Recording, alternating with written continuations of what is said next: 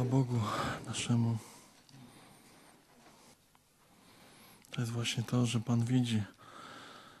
Nie, ma żadnego takiego kocharza na tej ziemi, żadnego specjalisty tak szlachetnego, tak doskonałego jak Chrystus. Chrystus wie, co jest solą, a co nie.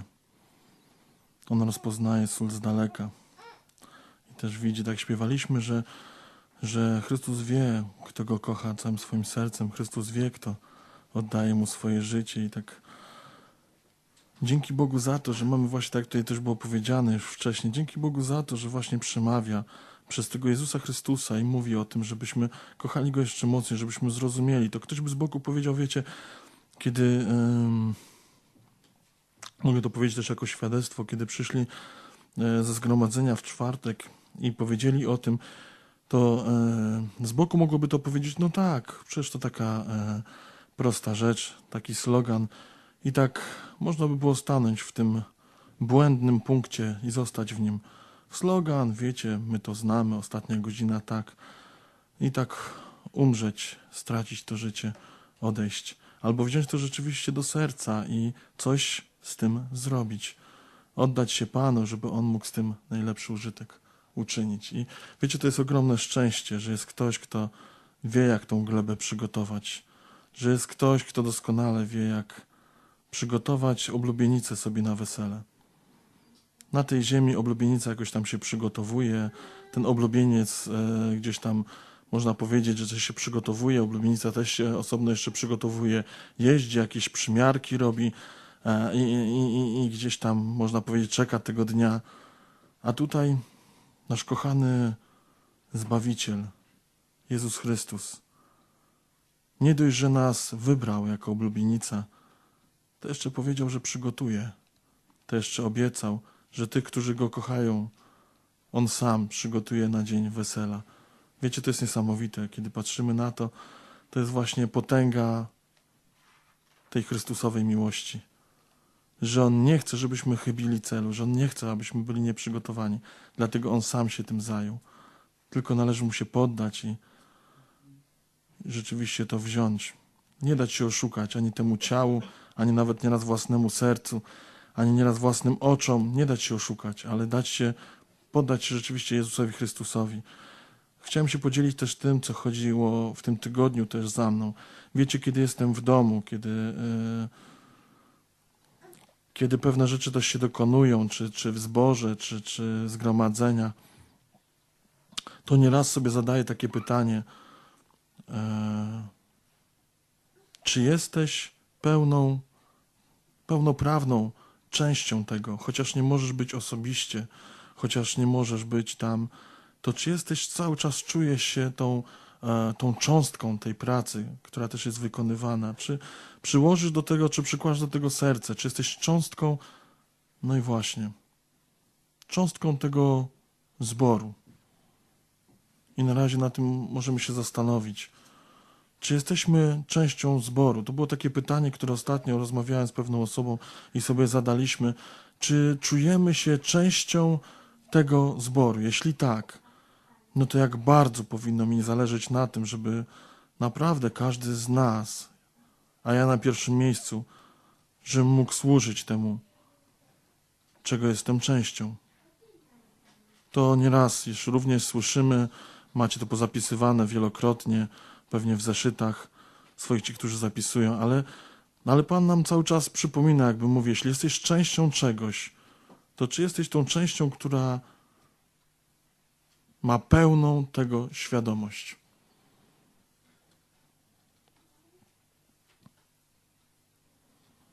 Wiecie, e, kiedy e, patrz, spojrzelibyście, e, patrzyliście może tam przez okno,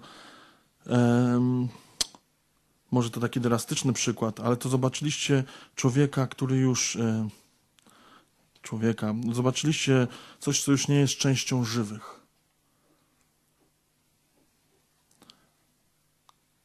On już nie jest częścią żywych, on już nic z tymi żywymi nie ma wspólnego.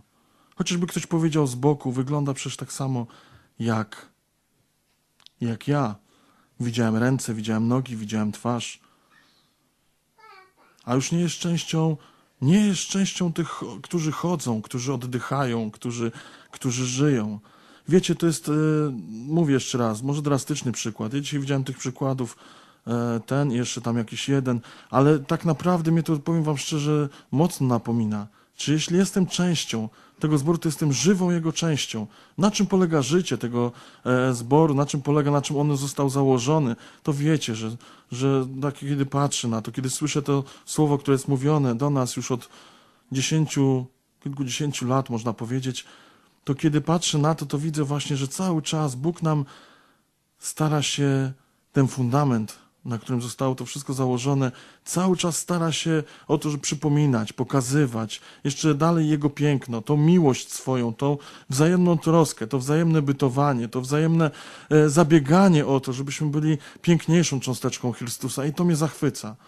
Tu mówię jako świadectwo, to nie jest jakieś, e, nie wiadomo, wiecie dobrze, słyszycie zresztą, nie jest jako nauka, ale to jest jako moje świadectwo, że coś, co mnie w tym tygodniu jeszcze bardziej zastanowiło i zachwyciło, że mogę być częścią tego zboru. I ktoś by pomyślał z boku, że jak to, tego miejsca? A właśnie, że tak że diabłu już od, na przestrzeni lat, kiedy obserwuje pewne doświadczenia, diabłu widać, że chodzi o to właśnie, żeby tylko nie, nie przywiązać się, żeby tylko serce, swojego serca swojego nie położyć na, na, na, na tacy takiego poświęcenia dla właśnie sprawy Bożej. Zobaczcie, że jak jesteś częścią czegoś, to jesteś oddać, gotowy oddać naprawdę wiele. Chociażby cię kosztowało to wysiłek, chociażby cię kosztowało to zmęczenie, chociażby cię kosztowało to e, no coś, co rodzice dobrze wiedzą. Jeśli jesteś częścią rodziny, albo rodzicem, można powiedzieć jeszcze bardziej wyraźnie, jesteś częścią tej rodziny, to wiesz dobrze, jaki to jest koszt. Ja tam troszeczkę tego kosztu poznaję obecnie i widzę, że to jest naprawdę ogromny koszt.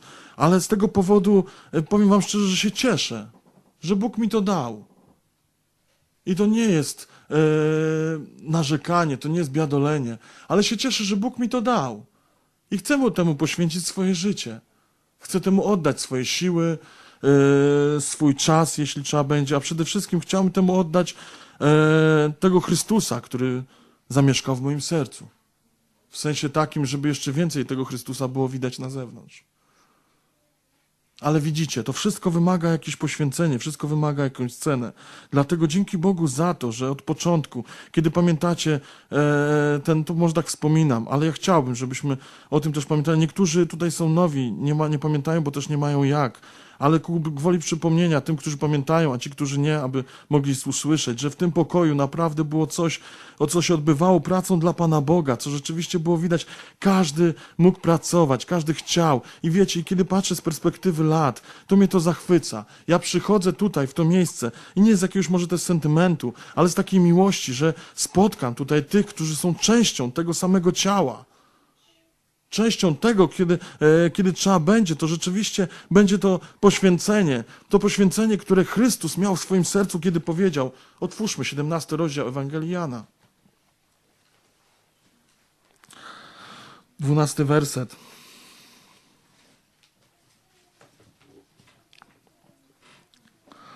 Dopóki byłem z nimi na świecie, zachowywałem w imieniu Twoim tych, których mi dałeś, i strzegłem, i żaden z nich nie zginął, prócz syna zatracenia, by się wypełniło pismo. Zobaczcie, czy e, to nawet kiedy czytamy, czy widzimy w tym obraz Jezusa Chrystusa, obraz tego, który naprawdę dbał. On poświęcał się dla tych uczniów. To nie było coś takiego, że on tylko e, im głosił coś tam i, i, i, nie poświęcał się. On z tego, co widzimy nawet e, w Ewangelii Łukasza, on poświęcał się w modlitwie za nich. On walczył za nich. On ścierał się za nich. On widać, że każdej chwili tam e, mówił e, ludziom, a później szedł i te przypowieści wykładał tym uczniom swoim. I widać ten czas, to poświęcenie, widać tą, tą, tą cenę Chrystusa Jezusa dla tych uczniów. Dlaczego też oni zostali zachowani? To dlaczego też oni, można powiedzieć, wytrwali przy nim, dlatego że on dbał o nich, poświęcał się. Widać to i dlatego też oni byli częścią Jego. I dlatego później powiedział, że wytrwaliście przy mnie.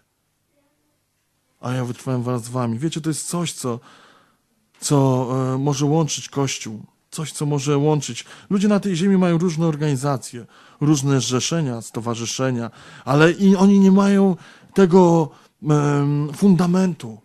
Nie mają tego, co łączy Kościół Chrystusowy, prawdziwie Chrystusowy. To jest miłość, która jest gotowa poświęcić swoje życie za brata, za siostrę. To od tego nie mają. Mogą mieć wszystko, mogą sobie dobrze czynić, zapraszać się na kawki, herbatki, ciasteczka. Mogą to robić, ale nie mają tej miłości, która by poświęciła się za brata, za siostrę. Nie mają tego, co tylko sam Chrystus może dać swojej cząstce, aby zrozumiała, że każdy z nas ma mieć tą miłość wzajemną wobec siebie. Naprawdę. I można by było powiedzieć, ktoś z boku by powiedział, no przecież e, e, e, trzeba jakoś żyć, trzeba się jakoś utrzymać. A wiecie, ja wam powiem szczerze, od jakiegoś momentu w moim życiu e, były e, osoby, które mi mówiły, słuchaj, e, Możesz wyjechać sobie na trzy miesiące do Norwegii. Masz załatwione. Ja ci załatwię tam, gdzieś jest jakiś taki punkt, w którym przyjmują rzeczywiście elektryków. Wyjedziesz, pojedziesz tam sobie.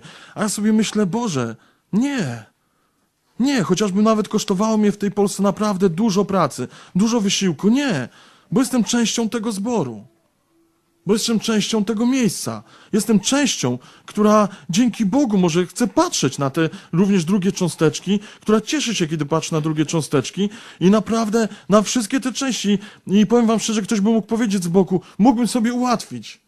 Naprawdę, bo, bo e, was również ojcowie czy matki wiecie dobrze, że nieraz zmartwienie przychodzi do głowy i myślisz sobie, jak to dalej będzie z tą pracą, jak to utrzymać. I gdzieś wróg podchodzi. To nie jest rzecz obca, to nie jest coś, czego po prostu dzieje się ponad nami i my jesteśmy po prostu e, ludźmi e, anormalnymi.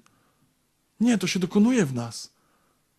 Gdzieś chodzi ci to, próbuje ten wróg podejść, ale ty w pewnym momencie składasz to na Jezusa i mówisz, Jezu, Tobie chcę ufać. Ale z drugiej strony Jezus mówi: Dobrze, zaufałeś mi, dobrze, ale skoro uznajesz się tą cząstką e, mojego ciała, to poświęć się we wszystkim. To bądź gotowy poświęcić się w każdej sprawie. Wiecie, Chrystus, jak też e, wiemy dobrze i słyszymy, ten Chrystus to jest Chrystus mądrości. Pan e, najpiękniejszego umysłu, e, pięknej mądrości. Cudowny nasz Zbawiciel jest najmądrzejszym na świecie. Takiego mądrego, jak On, nie było na tej ziemi i nie będzie.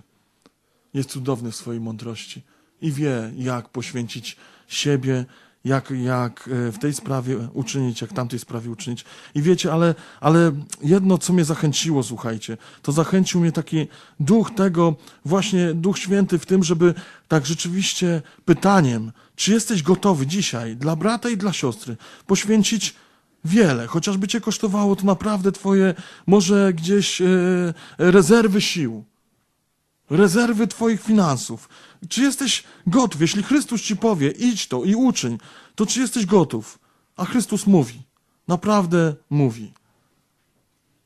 I nikt się nie wytłumaczy, że Jezus do mnie nie mówi, bo mówi wielokrotnie. Jeśli ktoś mówi, że do mnie nie mówi, to jest jego wina, nie Jezusa Chrystusa ale Chrystus mówi. I pytanie jest, czy jesteś gotów dla brata, dla siostry. Wiecie, ja sam widzę, kiedy mi zadanie to, e, to pytanie zadaje Duch Święty, tak mówię, Boże, tak wiele mi brakuje, tak chciałbym więcej tego, tak bardziej chciałbym to osiągnąć rzeczywiście w Jezusie Chrystusie, żeby być tak gotowym poświęcić się, jak Ty się poświęciłeś dla mnie, jak Ty się poświęciłeś dla uczniów. A Jezus do mnie zachęca mnie cały czas, nawet w tych kazaniach, które słyszymy o miłości wzajemnej, o tej trosce, nawet o tej ostatniej godzinie, zachęca nas do tego, żebyśmy tak rzeczywiście żyli.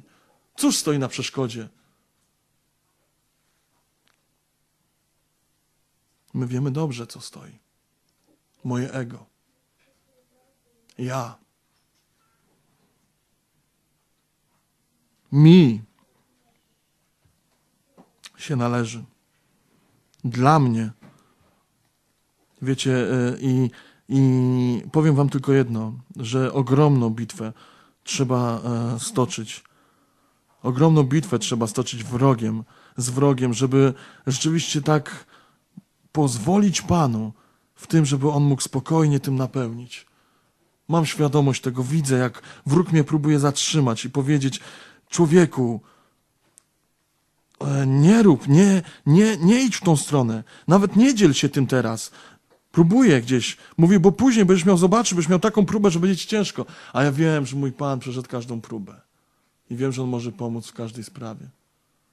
Że On jest gotów. Naprawdę pomóc, poświęcić się. I tak kiedy śpiewamy, że uczynił nas jedną rodziną, to ktoś może to śpiewać, wiecie, jak e, nieraz ludzie gdzieś tam e, w różnych rejonach świata mówią bracie, bracie, bracie, bracie, na tego, kto spotyka. I tak sobie mówią po prostu, a zupełnie nie ma e, w tym słowie tej treści, nie ma tego wyrazu. A kiedy mówisz w Jezusie Chrystusie do kogoś bracie, czy w Jezusie Chrystusie do kogoś siostrą, to siostro, to, to, to ma to, może mieć to naprawdę piękną głębię Chrystusową. Potężną głębię Chrystusową. W, w Jezusie Chrystusie wyrażenie bracie czy siostro, jeśli jest oparte na nim, ma potężne znaczenie. Dlatego, kiedy nawet śpiewamy, że tą rodziną wzajemną nas uczynił, że, że e, tą wzajemną troską, to wiecie, to ma silniejsze więzy. Jak nieraz już słyszeliśmy, również silniejsze więzy, więzy niż ta rodzina tu fizyczna. Bo ten, który to zespala, nie jest człowiekiem, który kiedyś umrze. Bardzo często rodzi, rodzinę, no tutaj na tej ziemi zespalają rodzice. Bardzo często też jest tak. Rodzice gdzieś umierają, dzieci gdzieś tam e, się rozchodzą, mają swoje życie, gdzieś tam na, na jakiś czas się spotkają. A tutaj jest ktoś, kto zespala całą rodzinę na wieczność. Ktoś, kto nie umrze, kto nie odejdzie. Ktoś, kto jest żywy w swojej miłości nieustannie, świeży cały czas w swojej miłości. Wiecie, to jest coś, co rzeczywiście jest potężne, coś, co ma potężne znaczenie. Coś, co może rzeczywiście Kościół uczynić tą pięknością, że ludzie w świecie zaiste będą chwalić, naprawdę będą chwalić Boga Wszechmogącego. Bo powiedzą zaiste, Bóg jest pomiędzy wami.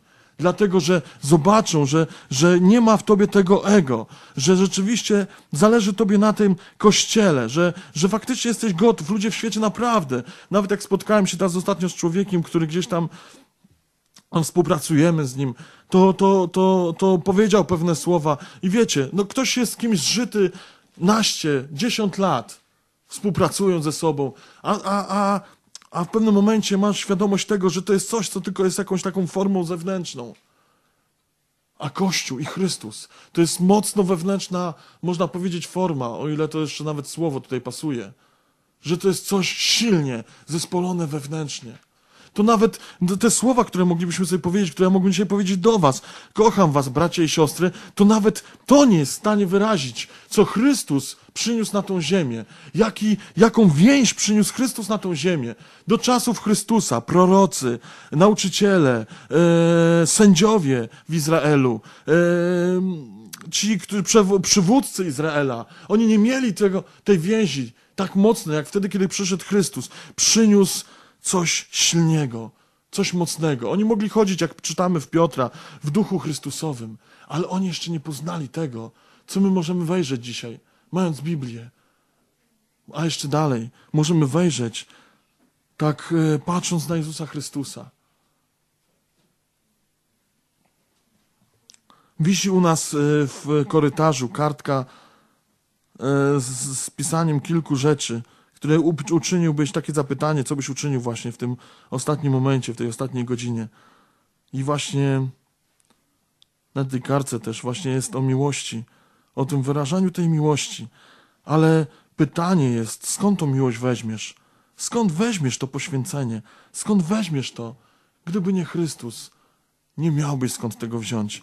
Ale powiem nawet więcej, gdy nie będziesz blisko tego Chrystusa, to nie weźmiesz tego znikąd.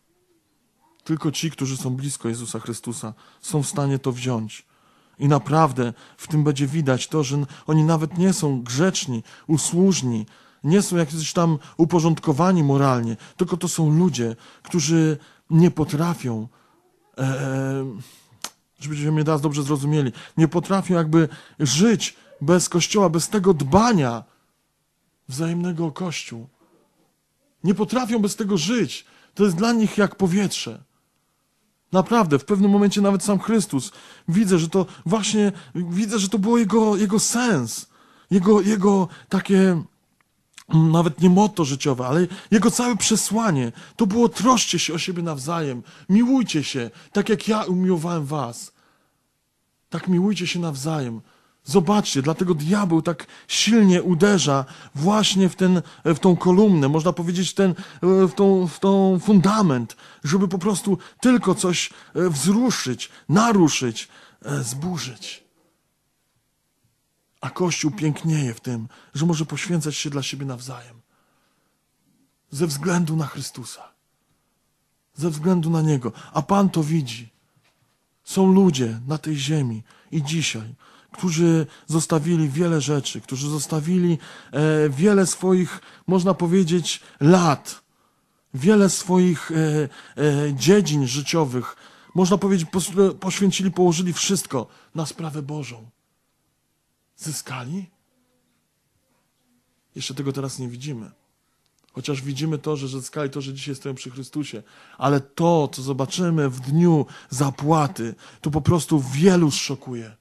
Zyskali tyle u Chrystusa, taką nagrodę.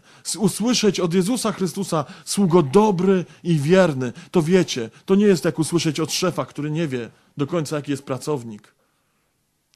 Nie wie, że w nim jest jeszcze lenistwo że w nim jest jeszcze jakieś niedopatrzenie. Od Jezusa Chrystusa usłyszeć sługo dobry i wierny. To jest coś, co rzeczywiście przewyższa wszelkie tytuły na tej ziemi. Sługo dobry i wierny. To jest po prostu w ustach Chrystusa Jezusa coś najpiękniejszego, czym można by było mnie nazwać, Ciebie. Jakże tego potrzebujemy bardzo. Naprawdę. Wróg próbuje nas Yy, yy, chciałby, żebyśmy stanęli, żebyśmy dalej się w tym nie rozwijali. A Chrystus nas tak mocno, naprawdę, już od paru zgromadzeń, nie wiem czy to widzicie, ale od paru zgromadzeń, nawet od paru lat, widać jak Chrystus chce to wiązać, chce naprawdę to bardzo mocno związać, żeby w godzinie próby, kiedy trzeba będzie oddać, poświęcić swoje życie yy, i przyjdzie ta próba śmierci, taka jedna z największych prób jaka może być, myślę. Przyjdzie ta próba, to nie zawahasz się oddać swojego życia za brata, za siostrę. I to nie są puste słowa, ale w Chrystusie Jezusie możliwe do wykonania, bo sam Chrystus to powiedział. Dlatego pytanie jest takie, czy jesteś gotów w tej, dzisiaj już, rzeczywiście, czy ja jestem gotów?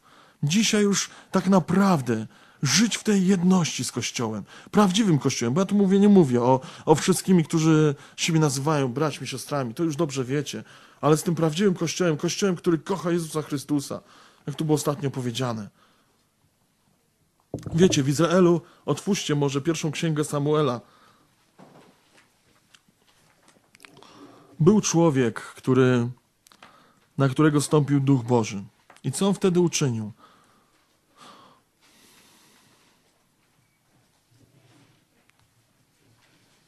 Został pomazany na króla wcześniej.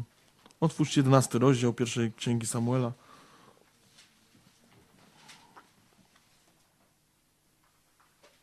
Od piątego wersetu.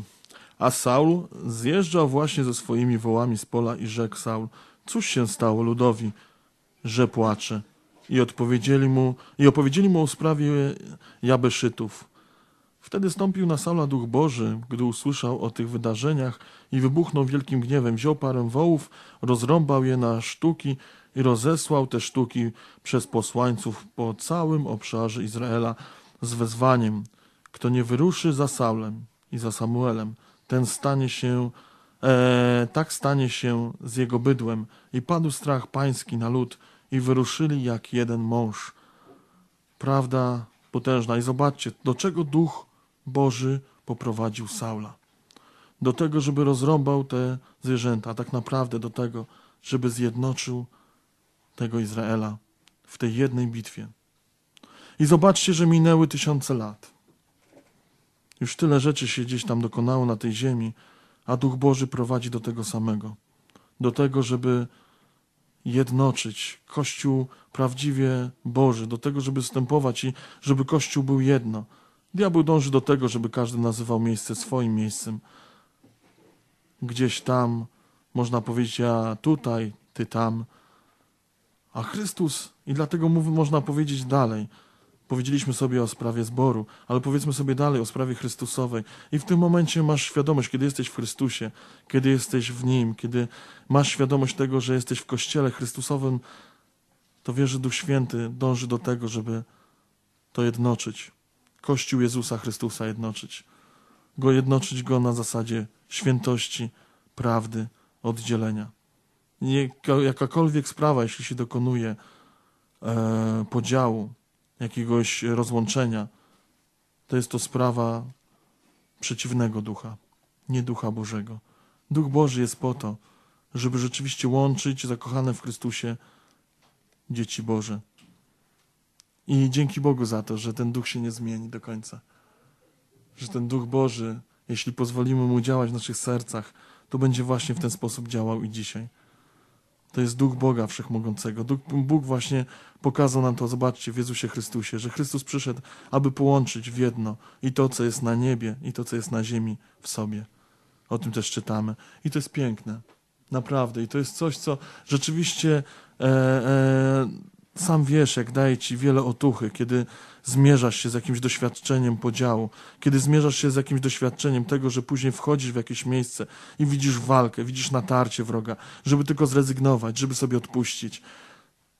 A wtedy Duch Boży, jeśli dajesz mu przystęp, widzisz też, jak w tobie działa, do tego, żeby nie odpuścić, nie pozostawić, być z tym Kościołem Bożym, chociażby to kosztowało naprawdę wiele.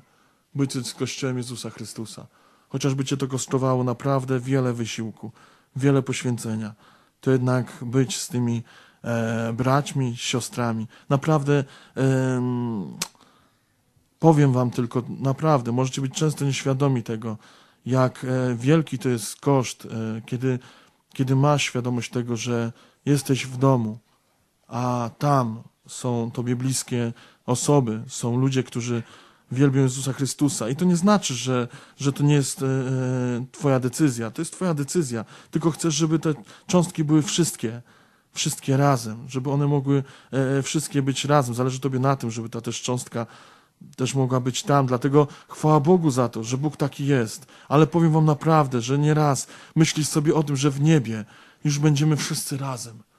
Że jeśli wytrwamy w Jezusie Chrystusie dzisiaj, w tej miłości, w tym, w tym sercu poświęconym dla brata, dla siostry, to wtedy będę z Jezusem Chrystusem tam w niebie i będę z Nim już całą wieczność z Jego Kościołem. Tam już nie będę musiał odchodzić, rozjeżdżać się, tam już nie będzie tych ciał, które jeszcze gdzieś działają bardzo wrogo na tą jedność, które przeciwdziałaniem są tej jedności, ale już będą zewleczone. Tam już będą te ciała, które będą kochały tą jedność z naszym Panem całkowicie uwolniony od pokus, od tego wszystkiego, co działa na te ciała. Wiecie, jakie to jest piękne, kiedy myślę sobie o tym, to mnie zachwyca to, że przyjdzie niedługo ten dzień. Że może rzeczywiście ktoś sobie myśli na tej ziemi. Wiecie, naprawdę ym, spotykam się w tym życiu ym, ze śmiercią i, i, i powiem wam jedno, że e, modlę się do Pana i mówię, Panie mój, ja chcę żyć. I dopóki dasz mi dech w piersiach, to chcę żyć. Nie chcę być e, e, w kościele e, bierny. Chcę być w kościele żywy, bo ty, ty Bogiem nazwałeś się żywych. I wiem, ile, ile to jest koszt. Ty, bracie kochany, ty, siostro kochana, również wiecie. Jeśli chcecie żyć, to jaki to jest koszt. Jaki koszt trzeba ponieść. Za to życie jest koszt. Ale, ale czy Chrystus, nasz Pan, milionow, milion bardziej nie poniósł kosztów, miliona razy bardziej.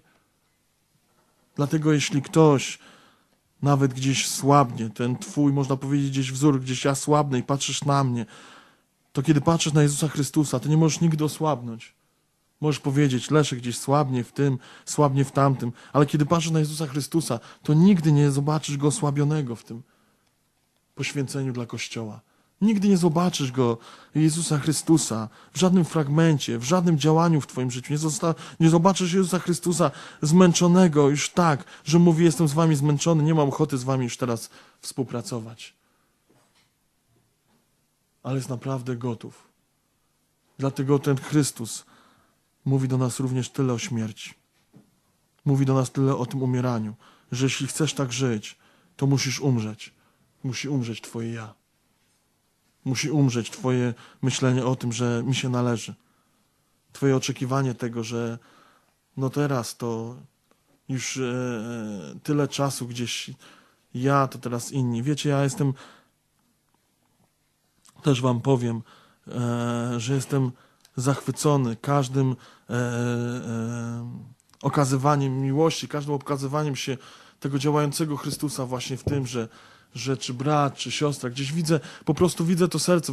Również w tym tygodniu, wiecie, kochani, doznałem czegoś takiego, że jeszcze bardziej, kiedy myślę o tej sprawie, Chrystus mi pokazuje tu tą cząsteczkę, tą cząsteczkę swojego kościoła, która naprawdę chce, e, którą chce jeszcze bardziej do siebie przyciągnąć i używać dla tego kościoła w tym poświęceniu siebie nawzajem. Naprawdę, słuchajcie, kochani, to jest coś, co mnie, co mnie pociąga, że wtedy dla ciebie koszty jakieś, które miałbyś ponieść, jeśli masz miłość w sercu swoim do brata, do siostry, to te koszty, które miałbyś ponieść, to co dla ciebie stają się po prostu mniejsze. Ta szala twoje, twojej miłości do brata, albo przewyższy szale materializmu, albo rzeczywiście ta szala materializmu przewyższy szale poświęcenia. I wtedy jest życiowa tragedia. Wtedy jest tragedia chrześcijanina. Od tego punktu najczęściej zaczyna się jego zatracenie. Jego wycofywanie się. Niestety smutny koniec. Jeśli jeszcze Pan go nie, nie pociągnie za sobą, jeśli rzeczywiście jeszcze się nie upamięta, jeśli nie przebudzi swojego serca dla Pana. Dlatego niech Pan to czyni naprawdę w nas. I powiem Wam szczerze, że jestem, ja osobiście, jako właśnie też tutaj mówiąc to świadectwo, Jestem właśnie tym, patrząc na te lata, zachwycony, że Bóg chce tą pracę wykonywać. I to właśnie przez nas. Przez takie materiały jak my. Chce wziąć tą glinę i lepić, jak mówi tam w Jeremiasza. Chce wziąć tą glinę i ma prawo ulepić naczynie, jakiekolwiek zechce. Ale to naczynie, które lepi Bóg, zawsze jest naczyniem użytecznym. On nie lepi naczynia i nie stawia je do góry dnem. I mówi, tak ma stać do końca aż popęka i się popsuje. Kiedy lepi naczynie, oddaje, bierze, można powiedzieć, oddaje, bierze je do użytku swojego i chce je używać. I to naczynie się zużywa. To naczynie, można powiedzieć, gdzieś widzisz, jest nadwyrężane, gdzieś rzeczywiście jest napierane na niego z tą, z tą siłą, ale widzisz, że to naczynie jest użyteczne. I taki jest ten garcarz. Nie lepi bezsensownych naczyń. Kiedy je lepi, to ich używa i chwała Bogu. Dlatego musi być to wszystko oparte na Chrystusie. Bo w pewnym momencie, jeśli to będzie oparte nawet na człowieku, na jego grzeszności, nawet jego uczynkowości, to to wygaśnie. To w pewnym momencie zgaśnie jak świeczka. Wypali się e, knot, wosk i zgaśnie. A kiedy jest oparte na Chrystusie, to cały czas widzisz, jak Chrystus cię do tego zachęca, nawet do tego cię, można powiedzieć tak, pcha do tego cię. I mówi ci, nie zatrzymaj się. Mówi ci, nie stań. Nie daj się zatrzymać człowieku. Chociażby ci mówiło dziesięciu, dwudziestu. Mówiło ci, stop, człowieku, pomyśl chociaż chwilę o sobie. To ty myślisz, to ty, Pan ci mówi, a pomyślałeś o mnie? W tym momencie chciałbym pomyślał, w tam, będąc tam już zmęczony, po tym całym dniu, pomyślałem o sobie, kiedy ci przyszli do mnie. Czy pomyślałem wtedy o sobie? Powiedziałem, idźcie sobie. Ale mów dalej, nauczał, uzdrawiał ich dalej. Czynił to, pomimo wielkiego swojego zmęczenia. Myślę, że żaden z nas nie był tak zmęczony jak Chrystus. Żaden z nas nie był tak strudzony jak nasz mistrz. A mimo to, jeszcze w tym e, zmęczeniu, w tym wyczerpaniu, był gotowy pójść i służyć. I nie patrzał na to, że jego ciało już gdzieś po prostu zmęczone, niedojedzone, może gdzieś po prostu e, e, troskami, gdzieś właśnie troskami, gdzieś tym zabieganiem o, ten, o, ty, o, to, o, o to, żeby nieść wolę Ojca, żeby rzeczywiście wypełnić wolę Ojca do końca, właśnie szedł i dalej to czynił. Bo wiedział, że jeśli coś przychodzi, to przychodzi to od Ojca. I Ojciec tego chce. I właśnie na tym polega to piękno Chrystusowe, że jeśli nas Bóg będzie prowadził, Jego Duch Święty, to nieraz może nas poprowadzić przez zmęczenie, nieraz poprowadzi nas przez zmęczenie, przez naprawdę myślenie o tym, że, że już, Panie, widzisz, naprawdę padam ze zmęczenia. I wtedy Bóg mówi, ale jeszcze to. A dlaczego tak robi? Wiecie, dlaczego tak robi? Dlatego, że brakuje ludzi, którzy by poświęcili do końca swoje siły. Że jeszcze e, w kościele mało jest ludzi, którzy by poświęcili wszystko, dlatego dzisiaj nas zachęca do tego, żebyśmy byli takimi ludźmi. Żebyśmy byli rzeczywiście ludźmi, którzy są gotowi poświęcić wszystko, żeby mógł tą osobę użyć, tamtą cząsteczkę użyć. Kiedy e, siedzisz w domu, kiedy Pan cię gdzieś powołuje, iść, czynić to. Gdyby więcej było takich cząstek i, i, i Bóg to będzie czynił. I ufam Bogu, że, że będzie mógł ze mnie taką cząstkę uczynić, każdego z nas, żebyśmy wtedy mogli się nawzajem uzupełniać i też w ten sposób odciążać tych, którzy, którzy rzeczywiście nieraz muszą tą pracę wykonać za kilku. Dlatego, że inni w tym czasie sobie odpoczywają. Wiecie, pracę można wykonać. Sami dobrze wiecie, że jest praca, którą na przykład wchodzisz, masz jakoś, jakieś dzieło do wykonania, jesteś w stanie to wykonać. E, e, w czwórkę, w piątkę. Jesteś w stanie to wykonać, nie w siódemkę. Ale w czwórkę, w piątkę jesteś w stanie to wykonać. Oczywiście, poświęcisz się więcej, zaprzesz się, będziesz tyrał i to zrobisz. Ale jeśli można to zrobić w siódemkę, jeśli rzeczywiście są te osoby, które mogą to zrobić siedem, to dlaczego ma się pięć zajeżdżać, a nie siedmiu razem wspólnie tymi samymi siłami i tym samym poświęceniem pracować? Dlaczego? Przecież Chrystus do tego woła. I ja wierzę, że taki On jest. I dzisiaj nas także do tego zachęca. Że jeśli żyjesz, to już nie żyjesz dla siebie. Już nie żyjesz dla własnych rzeczy, ale żyjesz już dla mnie. Wziąłem Twoje siły, wziąłem Twoje życie, wziąłem Twoje zdrowie, Wziąłem Twoje zmęczenie, wszystko należy do mnie, Jezus mówi. Ja będę tym dysponował. Dobrze być w ramionach tego, który wie, kiedy nam dać odpoczynek, kiedy nam dać pracę i się nigdy nie pomyli. Jest doskonałym pracodawcą. Doskonałym pracodawcą. Zna zmęczenie człowieka lepiej niż on sam. Wie, jeśli rzeczywiście mówisz, że jestem zmęczony, a Pan wie, jak jesteś zmęczony, zna Twój organizm, zna każdą Twoją komórkę i mówi: idź i uczyń to jeszcze. No to jak temu Panu nie zaufać?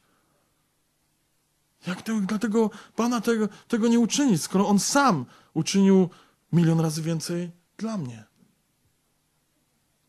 Nocy zarwanych i do dzisiaj oręduje za mną, za Tobą. Cały czas, tysiące lat, a cały czas ten Pan służy. Cały czas, ogromnie służy. Zobacz, jak oręduje za jedną osobą. Weź swoją, już na koniec tylko powiem, weź swoje, e, swoje życie, teraz, te, co dzisiaj miałeś, co miałeś wczoraj, co miałeś przedwczoraj i zobacz, jak Pan Twój orędował za Tobą. Jak On stawia się za Tobą, jak rzeczywiście chce, żebyś wytrwał do końca, jak mówi do Ciebie, jak dociera do Ciebie, kto tą pracę wykonuje. Sama się? Znikąd z powietrza się bierze? Przecież to Pan nasz to wykonuje. Cały czas ta służba dla, dla, dlaczego? Dlatego, żeby Kościół był taki właśnie. Żeby wzrastał. Żeby mógł pokazać to innym i przez tych ludzi, żeby Chrystusa mogli zobaczyć inni.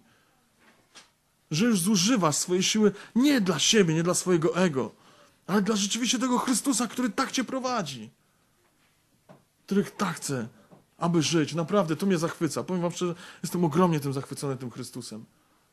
Naprawdę. I nie raz doznałem czegoś takiego, że jak tutaj właśnie wy doznaliście i tym się też dzielicie, że, że jesteś zmęczony, gdzieś już naprawdę zmęczony, a Chrystus mówi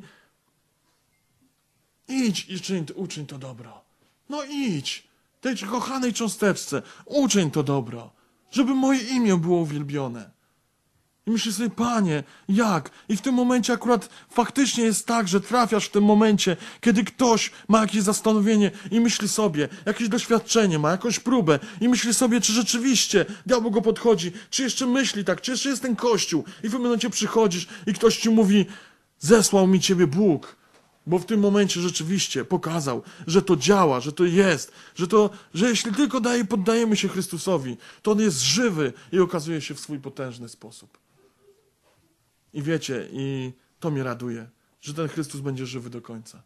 I ci, którzy tak oddadzą mu siebie, będą żywi do końca, do dnia Jego przyjścia, aż wybiegną mu na spotkanie.